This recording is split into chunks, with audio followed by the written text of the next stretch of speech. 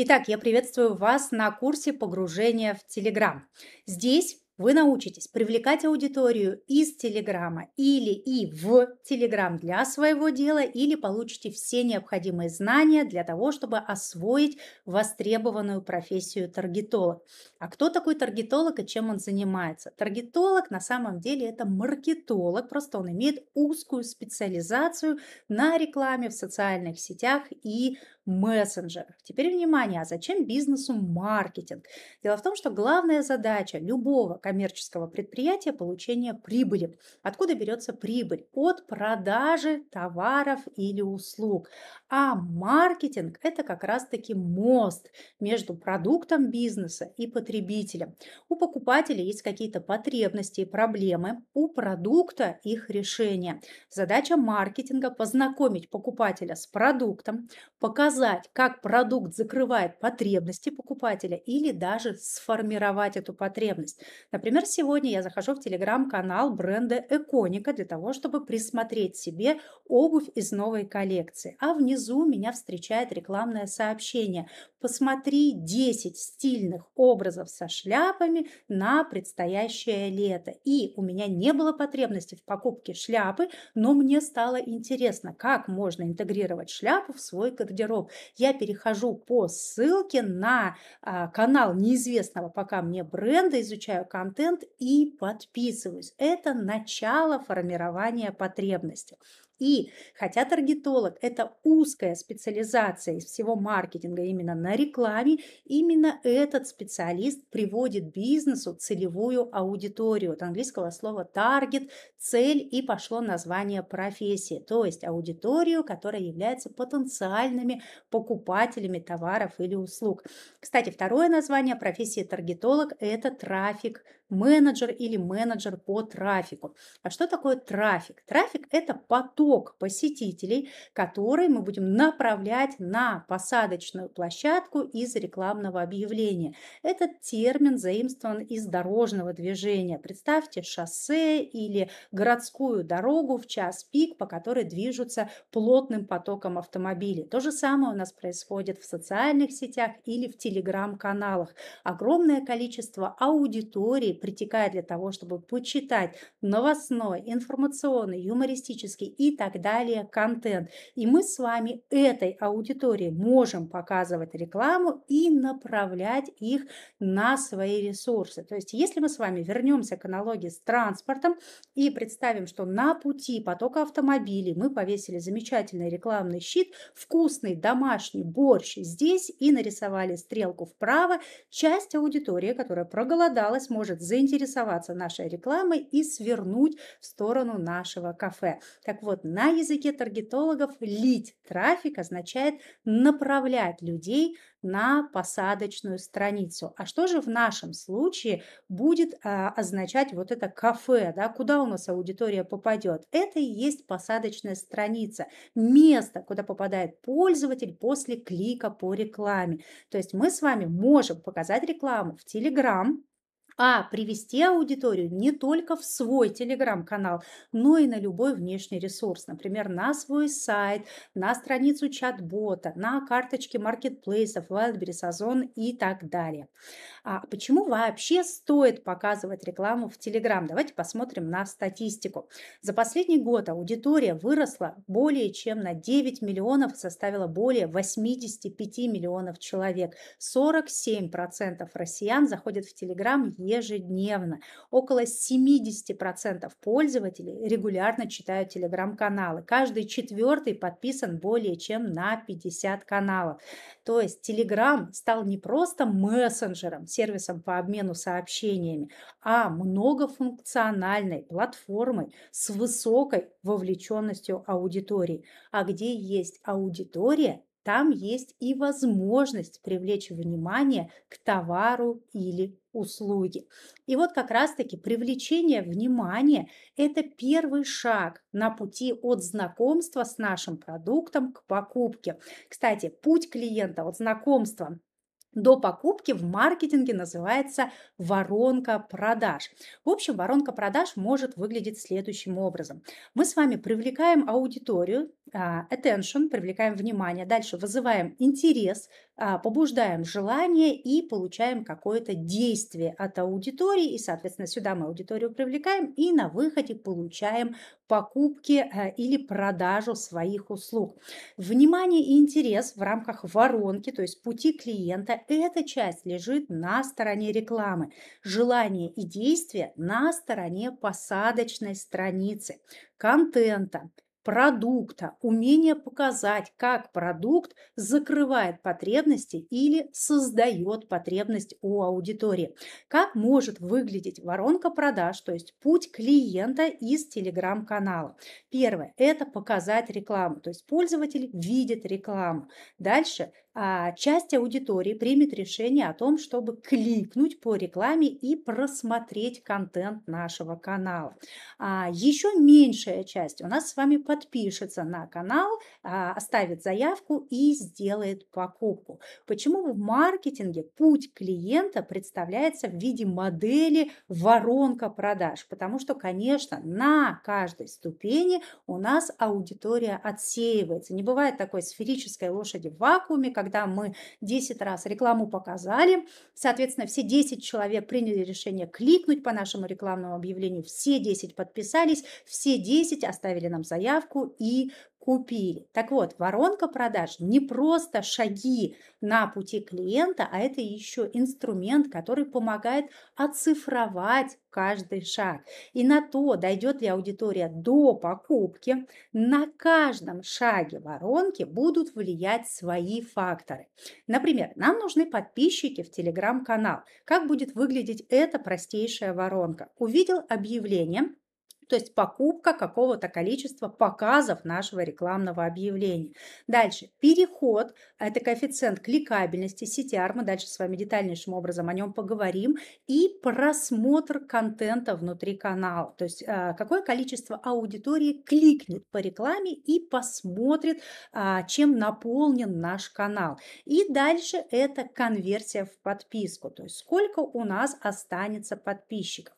В данном случае целевое действие воронки получения подписки. И даже в такой простой воронке половина успеха будет лежать на стороне посадочной телеграм-канала, а первая часть на стороне понимания целевой аудитории, ее потребностей, умения находить эту аудиторию, текста рекламного объявления и стоимость и количество привлеченной аудитории в данном случае будут зависеть от того, целевой ли аудитории мы показали рекламу, почем мы купили э, показы, потому что на тысячу рублей можно купить одну тысячу показов, можно купить три тысячи показов, и не всегда покупка трех тысяч показов будет более выгодной. Дальше, какой процент из увидевших рекламу перейдет по нашему объявлению, это тоже будет влиять на стоимость э, подписчика и на количество привлеченной аудитории. Какая будет конверсия у посадочной страницы, то есть какой процент аудитории из тех, кто в канал пришел посмотреть на его контент, подпишется на него. Наша задача научиться понимать, какие факторы влияют на показатели перехода от одного шага к другому, а как мы их будем улучшать. И чтобы получить максимальную отдачу от каждого вложенного рубля в рекламу, нам нужно будет сделать подготовительную работу. Даже в такой простой ситуации, когда мы просто хотим привлечь подписчиков в телеграм-канал. Теперь мы с вами пройдемся по пошаговому плану работы, который нужно сделать до того, как запустить рекламу. И этот же пошаговый план покажет нам, что должен уметь делать таргетолог. Или если вы как предприниматель выполняете функцию таргетолога, то есть сами занимаетесь привлечением аудитории на свои ресурсы, должны будете уметь делать вы. Итак, что мы делаем? Изучаем рекламируемый продукт. Дальше очень важный этап в работе определяем и описываем целевую аудиторию. Кто покупает, почему, когда, где находить, чем привлекать внимание. Изучаем конкурентов. Не секрет, что не одни мы стремимся показать свои рекламные объявления целевой аудитории. Нам нужно понимать, в каком конкурентном поле мы играем, почему пользователь будет отдавать предпочтение нашему рекламному а, объявлению для клика и нашему телеграм-каналу для подписки, хотя бы вот в этой примитивной части воронки. Дальше мы с вами будем определять воронку продаж для продвигаемой ниши, потому что для разных ниш используются совершенно разные воронки. И принципиально важно не перескакивать и не показывать рекламное сообщение аудитории, которая еще не готова делать покупку. То есть для каждой ниши мы с вами будем понимать, по какому пути мы поведем аудиторию, чтобы она с большей вероятностью купила. После этого мы с вами составим план запуска рекламы, исходя из задач проекта. То есть сначала нам нужно понять, какие целевые действия нужны, подписки, заявки, регистрации на вебинар, покупки на сайте и так далее. Дальше, исходя из нужного количества задач, например, нам нужно получить 100 подписчиков за неделю или 2000 подписчиков за неделю, это совершенно разные задачи. Мы через прием декомпозиции определим бюджет, который нам потребуется для получения нужного результата. Мы обязательно будем знакомиться с метриками, которые характерны для той или иной ниши, да, для того, чтобы мы могли с вами корректно составлять прогнозы, потому что я вчера познакомилась с анкетой, которую заполняли предприниматели а, по ожиданиям от рекламы и встретила а, такую информацию, что я хочу получать 10 подписчиков и 10 продаж. И в этот момент я понимаю, что человек очень далек от маркетинга, чтобы у нас не было вот таких вот идеалистических ожиданий, мы с вами должны видеть, а что вообще происходит в той или иной нише, какие воронки, какие показатели существуют на рынке. Дальше мы с вами будем определять аудитории, которые будем задействовать в рекламе. Потому что если бюджет небольшой а, и наша задача привлечь по минимальной цене а, подписчика, мы можем пройтись только по аудитории прямых конкурентов. Там будут лучшие результаты. А если стоит задача на масштабирование, мы пойдем в более широкие аудитории, в смежные и так далее. И там уже ожидания нужно будет выстраивать по-другому. Дальше мы с вами говорили о том, что половина успеха лежит как минимум половина на стороне посадочной страницы. Поэтому для того, чтобы получать максимальный эффект, повторюсь, от каждого вложенного рубля в рекламу, мы должны будем с вами провести аудит и подготовить посадочную площадку перед запуском рекламы. Дальше мы с вами подготовим рекламные объявления под разные сегменты целевой аудитории и разные стадии воронки. Почему? Потому что одну аудиторию мы можем ввести напрямую на сайт э, за покупкой, другую аудиторию холодную холодную, нам будет вести, э, нам не будет э, смысла вести напрямую на покупку, потому что этой аудитории нужно еще а, получить определенный массив информации для того, чтобы решиться на покупку. И, например, в нише онлайн-образования мы с вами не можем холодную аудиторию, которая ничего не знает ни о продукте, ни о спикере, заводить сразу на сайт с прямой продажей курса. Их мы будем заводить, например, на подписку в телеграм-канал. Это один из вариантов вариантов. И а, рекламные объявления будут продавать сам факт необходимости подписаться на этот телеграм-канал. А уже, например, другая рекламная кампания, которая будет нацелена на своих подписчиков, их мы можем направлять на сайт курса, если они, например, давно не заходили на наш канал, а у нас происходят какие-то активности, которые уже будут иметь шанс, что называется, а, а, у нас будет такая акция, которую мы можем показать на тех людей, которые с нами знакомы. После того, как мы с вами сделаем эту подготовительную работу, и как раз-таки это все то, что что должен уметь делать таргетолог. И следующие этапы тоже мы уже запустим рекламные кампании, проанализируем рекламу, оптимизируем, масштабируем. Но, конечно, обо всем по порядку. Сейчас давайте еще проговорим, а кому нужны таргетологи. Фактически всем тем, кому нужна реклама. А кому нужна реклама? Тем, кто пришел в Телеграм, чтобы продвигать здесь свой бизнес. Это самые частые ниши, которые используют э, рекламу в Телеграм. Интернет-магазины, товарки. То есть вся электронная электронная коммерция со своим сайтом, с карточками на маркетплейсах, то есть все те магазины, которые продают товары. Дальше, все, что связано с нишей э, инфобизнеса или онлайн-образования, курсы, тренинги, вебинары, наставничество.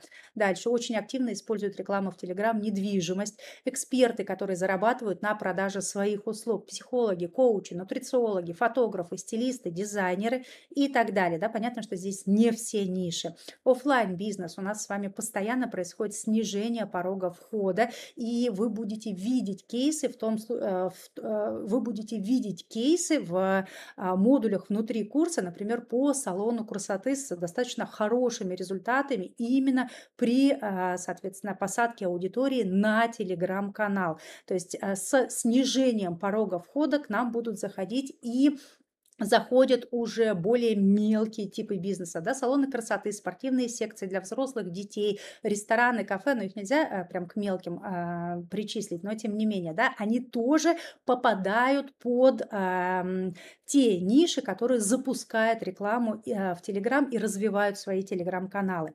Дальше блогеры, которые набирают аудиторию и монетизируют свои каналы за счет того, что они продают в них рекламу.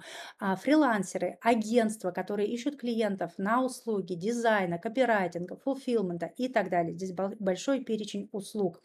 А, что мы с вами должны понимать? Что любой бизнес не может долго жить и уж точно не может стабильно а, расти без привлечения целевой аудитории. И Telegram за последние два года стал важнейшим источником трафика. А значит спрос на специалистов, которые умеют приводить бизнесу аудиторию из этой площадки, будет только расти.